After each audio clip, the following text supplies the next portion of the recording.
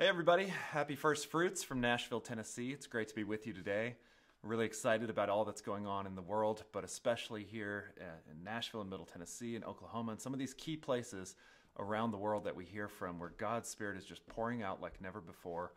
This really is the most exciting time to be alive, and I'm so glad to be with you today to share a little bit about First Fruits, what it means to us here as a congregation, what it means to, to me personally. Um, I'm the pastor at our congregation here. Uh, I've been a lifelong Messianic believer. Uh, started when I was a small child. And since then, it, it's been interesting seeing how it's grown over the years and sort of the maturation of the movement and just the outpouring of the Holy Spirit throughout. I think we're seeing more and more fruit every single day. And it's just absolutely amazing that we're at this time, at this season, to start a new year of feast cycles um, starting with these spring feasts. And that's what we're here to talk about today. So I hope that you will uh, really just lean into these feasts. Um, these are absolutely extraordinary appointments. These are times that God said that He wants His people to come together and to be with Him. Um, and so we have to make sure that we're operating on both of those levels. So today I want to talk a little bit about first fruits itself. Um, it's, I think, intentional by the Father that first fruits happens to be among the first holidays that we celebrate every year because it really does set the stage for everything that's to come. Uh, and it, it's a concept that I think we, we see throughout Scripture, but oftentimes it's hard to connect the dots. It's kind of an abstract thing. You know, we sing a lot of songs and there's poetry and psalms and other things about first fruits, but like, what is first fruits? What does that even mean? especially for those of us now, you know, we're several thousand years removed from when these scriptures were written. What does this mean for us today as believers who are trying to pursue the things of the Father? So I think one of the key verses that always comes to my mind when I think about first fruits is in Proverbs 3. And if you have your Bibles, I'd encourage you to read along. If you're, if you're a note taker, I'd strongly encourage you to take notes. It is a lost art that we need to bring back the, the ability to study and to remember and meditate on these things. There's so much information in the world. We really need to just push forward and be super intentional about the training and the discipleship of our faith. So, Proverbs 3, in verse 5, it says, Trust in the Lord, trust in Yahweh with all of your heart, and do not lean on your own understanding. In all of your ways, acknowledge him, and he will make your paths straight. Do not be wise in your own eyes. Fear Yahweh and turn from evil. It will be healing to your body and refreshment to your bones. Honor Yahweh with your wealth, with your first fruits of your crops. So your barns will be filled with plenty, and your vats will overflow with new wine. And I think for those of us as believers, we read those verses about new wine, and it, it's so much more meaningful than perhaps even at the time when these Psalms were written. But um, that's what we're pursuing today. All of this stuff, it talks about how we're supposed to honor Yahweh with our wealth, with the first fruits of our crops. And it is, uh, it's a trend we see throughout Scripture, starting in the Torah and extending throughout all the way to Revelation. But there is this promise that Yahweh gives his people that if we do what he says to do, if we live life the way that he covenanted with us for us to live, if He is our Lord, He will provide. And the promise here is that there will be this first fruits of our crops. There will be wine vats overflowing. There will be barns filled with plenty. You're going to be prosperous in all things. And I think in the Christian world, for so many years, we've got twisted. Um, and a lot of people have rightfully criticized the prosperity gospel message because it is not the gospel, it's not necessarily our salvation or our belief in Yeshua that causes prosperity. But throughout Scripture, there is a promise that if we are obedient to God, we will be rewarded with the best possible life here on earth. And that does include prosperity in all things. So here we sit, 2,000 years, you know, from when the Messiah walked the earth. And we have these feasts. We have this feast of first fruits. Uh, it, it's so important for us to understand what this means to us. And yes, it is a holiday that we celebrate, but it's a concept that should be in every aspect of our lives. And that's what I hope that we'll understand today. So, in Nehemiah 10, verse 35, it says, We also assume responsibility for bringing to the house of the Lord each year the first fruits of our crops and of every fruit tree. So, and these, these verses, I should just interrupt for a minute. These are all things that, especially for people who are well Christianized in our faith and our upbringing, we understand the verses about tithing. These are things that are spoken to us all the time. And I think to a certain extent, we've probably gotten burnt out on them because of the abuses that we've seen. But just the spirit of generosity is so important. And first fruits is another moment when Yahweh calls for us to be generous. So we're supposed to bring our first fruits to the Lord. Verse 36, I'll pick it up. It says, As it is also written in the law or in the Torah, we will bring the firstborn of our sons and our cattle, of our herds and of our flocks to the house of the Lord, to the priests ministering there. Moreover, we will bring to the storerooms of the house of our God, to the priests, the first of our ground meal, of our grain offerings, of the fruit of all, all of our trees, and of all of our new wine and olive oil. And we will bring a tithe of our crops to the Levites, for it is the Levites who collect the tithes in all the towns where we work. A priest descended from Aaron to accompany the Levites when they received the tithes. And the Levites also are to bring a tenth of the tithes up to the house of God, to the storeroom of his treasury. The people of Israel, including the Levites, are to bring their contributions of grain, new wine, and olive oil to their storerooms, where the articles of the sanctuary and for the ministering priests and the gatekeepers and the musicians are also kept. We will not neglect the house of our God. That's so important, that concept of us having stewardship and ownership over the house of God as believers, we are all called to be a kingdom of priests and a holy nation. That was Yahweh's intent before the golden calf debacle, before the priesthood was implemented, before the tabernacle was set up. Those things were done as uh, a second best solution to a corrupted situation following the golden calf.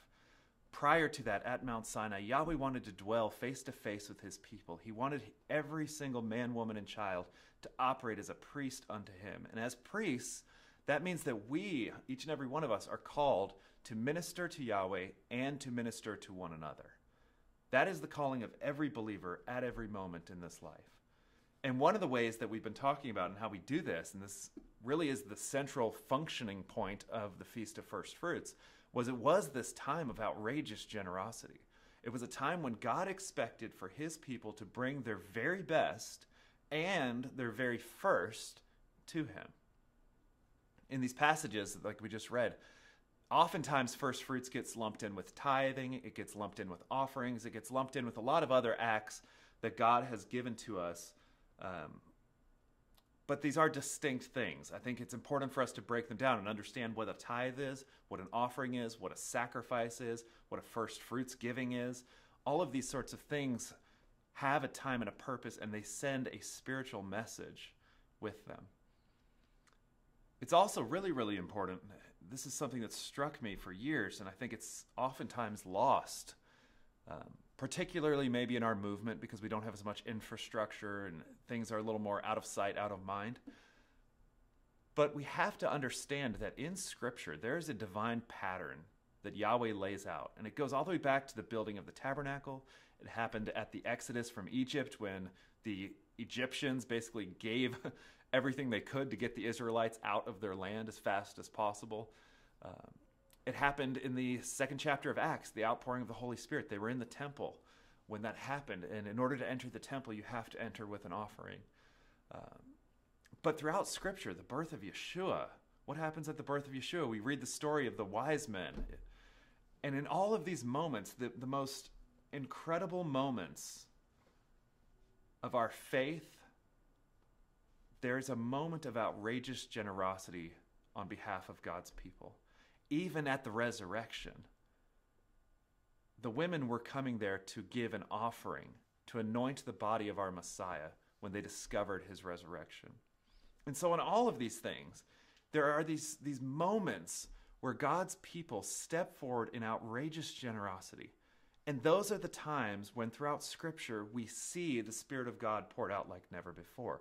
Those are the moments of salvation and redemption and restoration for God's people. And the interesting thing about it is, most of those moments of outrageous giving, like the contribution for the tabernacle, where they gave so much that they had to tell everybody to stop giving because there was too much gold being offered. But those were not commanded offerings. Those were just the outpouring of the love and the generosity of God's people.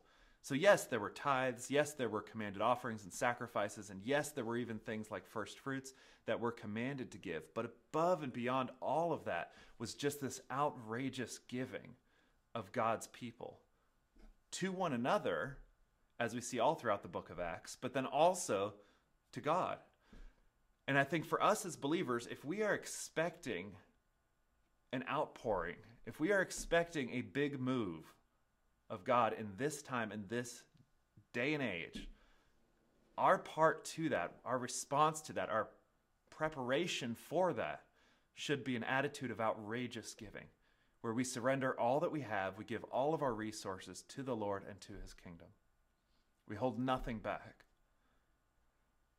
And first fruits is the first example of that that we see in the feast cycle. But with all of these things, you do get this concept of tithing. And I know you mentioned that money. You start talking about people's money, and everybody gets all tight and anxious. But scripture says that our hearts and our treasures are intertwined. Um, and I really believe that your, your bank accounts, your statements, they are your mission statement. Um, it reveals your heart. It reveals the things that you have interest in. It reveals the things that you want more of in this world. Those are the things we put our money toward. Those are the things we put our treasure toward. But all of these things are not necessarily Christian things. These aren't things we inherited from the Catholic Church. These aren't things we inherited even from the second chapter of Acts. They aren't even necessarily even Torah things. These go back even further from when the Torah was written all of these things tithes, offerings, first fruits these were tributes in the ancient Near East that people gave to kings and to their God. One of the first examples we have of tithing was before there was ever a priesthood, before there was a tabernacle, Abraham tithed. Then we read later that Jacob tithed, and Jacob really gives us the explanation of why he would do this tithe. Um, after he experiences God, he makes a, a vow or covenant to God uh, essentially his salvation statement. And he says that if Yahweh will protect and provide for him on his journey, and if Yahweh will bring him back safely, that Yahweh would be his God, and that he would then tithe 10% of all that he has to the Lord. Um, in the ancient Near East, the idea of tithing and offerings and first fruits, these were tributes that you paid to a king. And so when Jacob, when Abraham, when these people tithed, when they gave, when they made offerings to the Lord, it wasn't just a church tax. It wasn't just a formality that they went through every Sunday where they wrote a check. It wasn't just something they did every Shabbat where they put money in a box. It was a, a statement that they were aligning their citizenship. In Abraham's case, he was aligning it to Jerusalem. In Jacob's case, he was aligning his citizenship to Yahweh. And his agreement is the same agreement that we all have when we say that Yeshua is our Lord. His obligation, if we are his servants, is that he will protect and provide for us. He will preserve us as a good king should. And that's what all this giving and stuff that we read about in the Bible is all about. And that's just tithing. First fruits goes even deeper. And people don't really talk a whole lot about first fruits.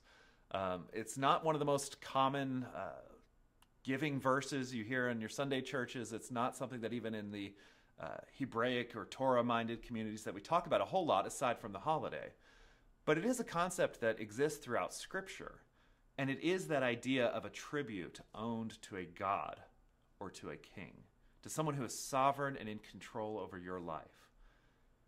And one of the first places we see it um, is goes all the way back to the very beginning in Genesis 4. Um, this is describing the family of Adam and Eve. We've got Cain and Abel, these two brothers. You know how this story is going to end, but in the meantime, there's some key language that we should focus on. Um, in verse in chapter 4, verse 2 of Genesis, it says that she, Eve, his mother, gave birth to, A- to his brother Abel, and Abel kept the flocks, and Cain worked the soil. And in the course of time, Cain brought some of the fruits of the soil as an offering to the Lord. So that's a good thing. He's giving the fruits that he has as an offering to the Lord. There's nothing necessarily wrong with that. But in verse 4, it says, And Abel also brought an offering. And these are the key words. It talks about the fat portions from some of the firstborn of his flock. The Lord looked with favor on Abel and his offering, but on Cain and his offering he did not look with favor. So Cain was angry and his face was downcast. There we see the first example in Scripture of a first fruits type offering. And really, all of the offerings that are to be given to the Lord are to be the very best. They are to be your firstborn. They are to be, it says, the fat portions or the healthiest of the animals here. Um, and really, those are the only distinctions that we see between the offering that Cain gave and the offering that Abel gave. They both gave what they had. Um, the only real descriptors between the two is that Abel offered the fat portions and he offered the firstborn of his flock. He essentially offered the first fruits of his flock to the Lord. Whereas Cain, that description's not there. So Cain apparently just gave whatever he had. Um, it wasn't necessarily his best. And that, of course, set in motion a chain of events that we are still reaping the ramifications of today. But this idea of bringing your first fruits, and really, first fruits, let's not get it twisted, it's not just fruit, it's the first of whatever you have.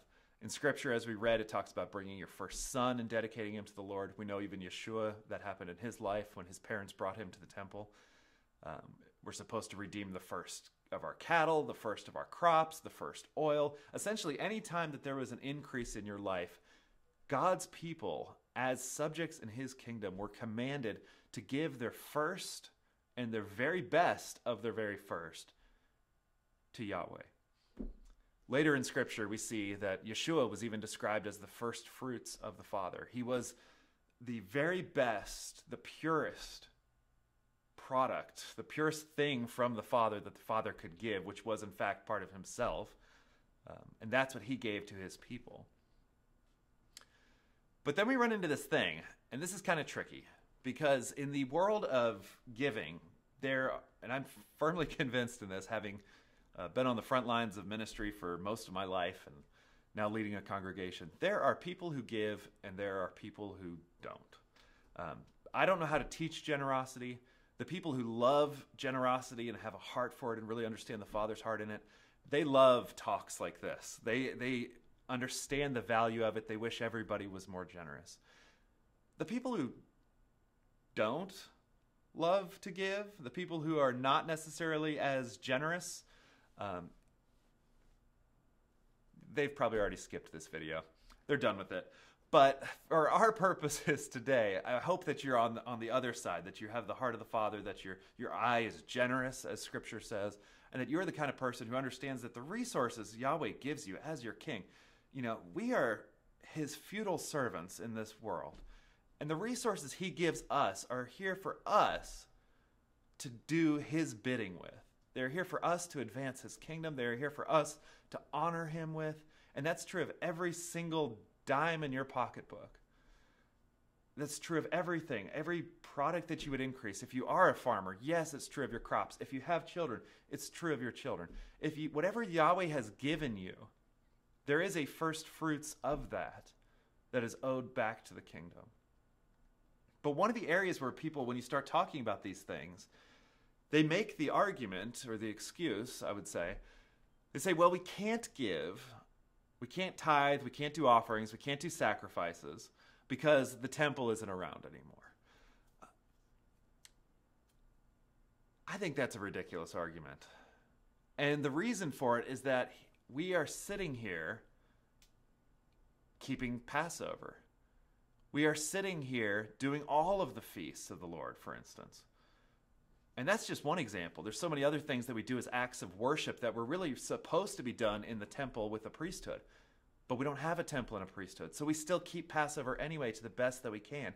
We're not fully keeping Passover. We're not actually eating the Passover lamb as prescribed in Scripture and in the Torah. But we still honor the day. We still embrace the principle. We still try to do as much of it that we can, understanding our own limitations and trusting that the Father will be honored in our feeble attempt. So, no, we can't actually give a first fruits offering to the priesthood. And no, we can't technically, literally give our tithes and offerings and uh, other things, other acts of generosity, directly to the priests as prescribed in the Torah. But that's okay. We can still embrace the principle even when the implementation is currently unavailable. If anything else, it is training for us for the kingdom to come. It's us living as though we are in his kingdom now, understanding that his kingdom is partially now, but it will be made more manifest in the years to come. And in all of this, as I read before in Nehemiah, the reason for the tithes and the offerings and the other things, the first fruits that it talks about, is it was in verse 39 where it says, Thus we will not neglect the house of our God. 1 Corinthians 3, verse 16 says, Do you not know that you are the temple of God, and the Spirit of God dwells in you? If any man destroys the temple, God will destroy him. For what? For the temple is holy, and that is what you are. Scripture is very, very clear that in the absence of the tabernacle, in the absence of the temple, we have become the temple of God. We collectively, and it's not an individual thing, it's not every person is an individual temple. There's only ever been one temple, and collectively, we make up that temple of God. So, is there a temple today? Absolutely. Is there abominations and sin in our temple? Absolutely. Is there stuff we need to clean up? Absolutely. But together, is there an opportunity for us to serve as priests within that temple, for us to serve God and serve one another within the temple that we all are together? And I think the answer to that is definitively yes. And so, as in a lot of things, um, you know, throughout Scripture, a lot of things changed over time. Even Passover changed over time from being a family holiday to a national holiday. And ultimately, even at the crucifixion and the, the Last Supper, if you will, it almost became sort of a global holiday. The doors were open for all people to participate in the redemption that Yeshua shared. But so things do evolve throughout Scripture. And one of the uh, ways in which this has changed is that the implementation of actually physically taking your first fruits or physically taking your child or whatever to the temple and dedicating it to the Lord, the physical implementation has changed, but the principle still remains. The principles of God's word never change. And so there's still this call, I believe, that all believers have to respond and to answer the obligation that we have to our King to bring forth our first fruits. It is a tribute that we owe him. And if we are his subjects, and we don't pay tribute, our citizenship would be in question in any kingdom. I don't think the Father's kingdom is necessarily that much different. And Scripture tells us as much that where our treasure is, that's where our heart is. If our heart is in His kingdom, that's where our treasure is going to be. So, first fruits, it comes from this Hebrew word, reshith. Um, it essentially means the beginning, um, it means the first. Um, it doesn't necessarily have anything to do with fruits or vegetables, although that can also be part of it. Um, but it really means the beginnings. So when someone has the first fruits of their of their flock, it means it's the beginning of their flock's growth. When it's the, the reason why we dedicate our children as first fruits, the firstborn, is because we're saying that this is our first child that starts this next generation. And so the feast of first fruits, what we're celebrating and what we're here today, it was the start of the barley harvest. And for that matter, it was the entire harvest year. It's important to understand in uh, biblical agriculture, and yes, climates, environments, all this stuff changes over time. Um, the seeds that we have today are not the seeds that they had 2,000 years ago, so I'm not going to get into calendars and timing and all that nonsense. But the Feast of First Fruits was the start of the grain harvest. The grain really being what would sustain the people throughout the years. It was be what they made the bread for in the tabernacle. And, and it started with the barley harvest, and then it culminated in the wheat harvest essentially 50 days later. But all of these things, these were uh, grains that were harvested that had been planted right after the fall feasts. Um, the season of planting comes in the fall. Um, and then through the winter, it lies dormant in the springtime you start to get that first harvest. And so the feast of first fruits was the they would take the very first harvest of that barley. And that's what they would offer to the Lord as a tribute. And so if you think about it from an agricultural perspective, there is no guarantee that when you have your first that there will be any more.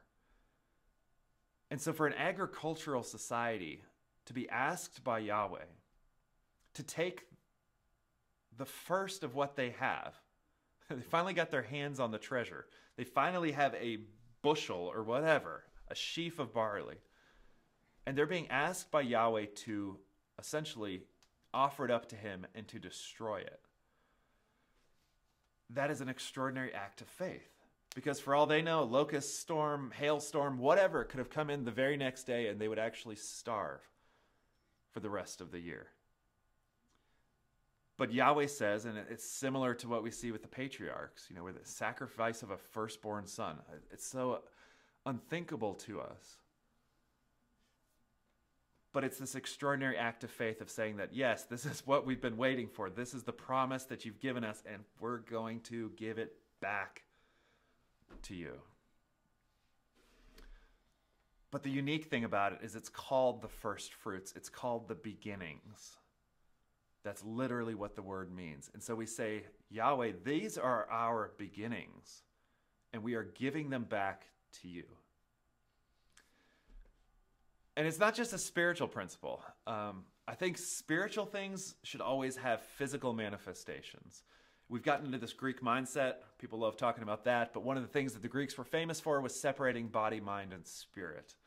Um, in Scripture, and especially in the Hebraic Scriptures, you are just who you are. Your body, mind, your spirit, all of those things should be aligned and made manifest holistically. And so, all of these things, when we talk about first fruits and we talk about giving the, our beginnings to the Lord, we talk about trusting Him for the future, we talk about all these things. Yes, there is this spiritual thing that we can get to through prayer and worship and other things where we should be focused and trusting and, and verbalizing to the Lord how much we trust Him. But there's also this call for a physical manifestation of that faith. We have to get to the point where we stop separating the body from the mind and the spirit. We have to be about pursuing total wholeness of being. The word shalom, which everyone probably knows at this point, but shalom comes, it's the concept for peace. It's used as a greeting, but it comes from the root Hebrew word for wholeness. And so true peace, true harmony comes from being whole. It comes from having your body, mind, spirit, your family, your community, your covenants, your relationships, your obligations, your finances, Everything is in absolute alignment and it is whole to the purpose that God has created you for. That's what we're in pursuit of. And so, while First Fruits is absolutely a spiritual holiday, and there are spiritual things that we can learn from it, and there are spiritual things that we can celebrate about it, I think that this should be a concept that is made manifest in our lives, both, of course, on the holiday, the holy day of First Fruits, but it should be throughout every aspect of our lives. Just as we don't live in atonement only on the Day of Atonement, we accept that throughout our entire lives. We don't live in the Feast of Tabernacles or the tabernacling with God, dwelling with Him. We don't do that only at the Feast of Tabernacles. We do that in every aspect of our lives. At every moment, we dwell with God. At every moment, we are atoned. At every moment, we are awaiting His return. And at every moment, we should be pursuing and pouring out and manifesting a spirit of first fruits toward our King. And so, what does that look like? At a minimum, every year, and it's actually it happens three times a year, it's at every harvest festival, we're called to give our first fruits to God. The holiday, the holy day of first fruits, is the grain harvest, because that was essentially the first one that really came in that was um, hugely substantive to the kingdom. But we're supposed to always bring our first fruits to God. It's from the first harvest of the year, and I think for those of us as, you know, I grow things occasionally, but not well. I have a, I collect a paycheck. I've got a day job. I've uh, the way in which the Lord provides through our family isn't necessarily through fruits and vegetables. It's through my paycheck. And so one of the things that the Father um, convicted me of several years ago is to take that first paycheck of the year, take that first whatever, however your economy works, take the first, take the best, and dedicate it entirely unto Yahweh. We have to apply it in our physical lives on every aspect, and it's not just financial. We are supposed to dedicate our first child to God. Also, for that matter, it's supposed to be among our children's first days. So when we do that, when you know in Scripture they would take them to the tabernacle or the temple and do this dedication ceremony. We don't have that right now, but we can still embrace the principle of it. So what I think we're called to do is we're called to, to take our firstborn children, the first day of our children's lives, dedicate them to the Lord. And in doing so, by saying that this is our first fruits offering to the Lord, we are saying that this is the beginning. This is not the end. This is not the midpoint. This is the beginning of a new generation. This is the beginning of this child's life. And not only are we grateful for it and we're thanking the Lord for it, we are dedicating the whole of everything that is to come back to the Lord. When we offer the first fruits of our careers, our projects, our worship, or, or whatever, we're making a prophetic statement. We are saying that this is the beginning. And if there's a beginning, that means that there is more to come. I think that's what we're called to. That's what this feast is all about. It's saying this is the beginning. Even when Yeshua was our first fruits, Yeshua, our Messiah, was just the beginning of the salvation and of the kingdom and of so many more things that we still have to look forward to. It was just the start. We have to make those prophetic statements in our lives. We owe it to our children, we owe it to our families, and we owe it to our King. But the question is do we actually do this? And I think oftentimes, especially here in our westernized society, um, we have a scarcity mindset where we treat everything as though it was our last. So if we were, if we took our mindset and applied it into ancient Israel, we would look at that first harvest of barley and we would say, uh, we should hang on to this in case we don't get any more. That's the wise thing to do. That's the stewardship thing to do. And that's not what we're called to do.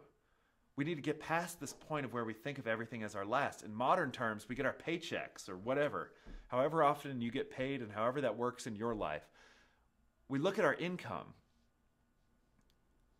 and we first evaluate, oftentimes, is this going to be enough to make it to the next paycheck? Is this going to be enough to get me through the next whatever? Is this going to be enough to get me to where I want to be financially? And then if there's anything left over, we get to the end of the month, we get to the end of the two week cycle, we get to the end of the bonus check or whatever. And that's what we use for charity.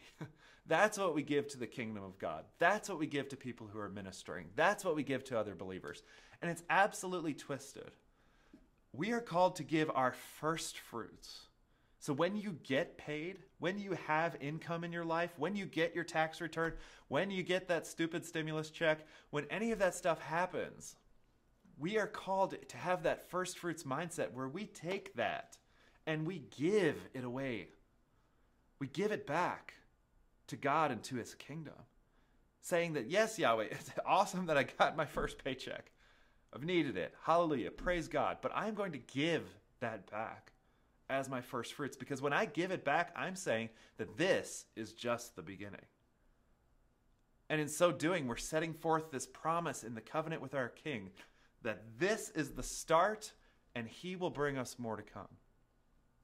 And it's the same thing with spiritual stuff. It's not all just money, even though here in the West, that's all we tend to worry about. But even with our worship or our Sabbath keeping and other things like that, oftentimes we get to the point where we get to the end of the week, and if we have enough energy, if we aren't burnt out, if we had a good week and our kids didn't stress us out, then we will go to church. Then we will go to our synagogue. Then we'll go to our congregation. And if we have enough energy, and if we feel good, and if we don't have a headache, and if we're not hungry, then we will stand and sing and worship the Lord. All of that is the exact opposite of what we should be giving to the Lord. We're not supposed to give him what we have left. We're supposed to give him what we have first, our first and our best. And that's something that we have to get our heads wrapped around, even just in our congregational worship. If you are find yourself in the pattern where you don't have the energy to properly keep a Sabbath assembly or to participate in it, you need to change the rest of your week. I don't know how to say it any plainer than that. Our obligation, our first and foremost, is to get together with other priests in God's kingdom, to have a holy convocation, and to worship the Lord. If anything is standing in the way of that, then you're not giving him your first and your best. You're giving him whatever's left over, if there's anything left over. You're giving him a Cain type offering. And we're called to give our first and our best. We have to get to the point where we approach our week, where we structure our lives around saying, I'm going to give the Lord my life. Worship is a high priority, perhaps the highest priority in my life. And I will invest the best of my time, the best of my energy, the best of my resources, the best of my focus, the best of my concentration on those acts of worship and prayer and relationship with the Father. And if there's anything left over, I'll give it to my employer. if there's anything left over, I'll give it to my neighborhood or my friends or other people. But first and foremost, we prioritize our first fruits of all that we are to the Lord. And when you do that, it changes absolutely everything. So, Job and a few other scriptures talk about this idea of first fruits. And it's always, if you put these in context and understand what these people went through, so what Job went through. Job 42, verse 12 says, Yahweh blessed the latter days of Job more than his beginning, more than his first fruits. So he had a great life to begin with. Um, that was taken from him. Um, essentially, he gave it to the Lord. um, and from that, he got even more. Proverbs 11, verse 25 says, The generous man will be prosperous, and he who waters himself will be watered. When we give our first and best to the kingdom, we are promised a blessing. When we say, when we make that statement um, of our citizenship under his sovereign kingdom, he is a good king. And he will see that we are taken care of. He will be our provider. He will sustain us. He will keep us safe. Our part in the agreement is to uphold that tribute, to uphold the obedience of his ways, to honor our king in everything that we do. And even with this, we talk a lot about holiness in this movement. Uh, this whole idea of something being kadosh or holy means that it's set apart. And that really is all that it means. It means that something is set apart for God. It's not a magic formula that makes something holy. It's just saying, I'm going to take a piece of what I have, and this piece, this set apart piece, is holy for God. So whether it's your tithe, your offerings, your first fruits, a certain amount of time in your life, your energy, your resources, whatever it is, when you take it and consciously, purposefully, deliberately set it apart, you can make that holy and give it to the Father. All of this applies in our spiritual lives too. Proverbs 1, verse 7 says, The fear of Yahweh is the beginning or the first fruits of knowledge. Fools despise wisdom and instruction. Psalm 111, verse 9 says, He has sent redemption to his people. He has ordained his covenant forever. Holy and awesome is his name. The fear of Yahweh is the beginning or the first fruits of wisdom. His a good understanding have all those who do his commandments. His praise endures forever. Yeshua was the first fruits. He was the beginning of the promise that we have to overcome the grave. He was, you know, fully God, but also fully man. And in the fact that he overcame the grave, it was the first, it was the promise of the beginning of the fact that death has no sting, that we too will receive eternal life, that he has taken captivity captive and we have nothing to fear.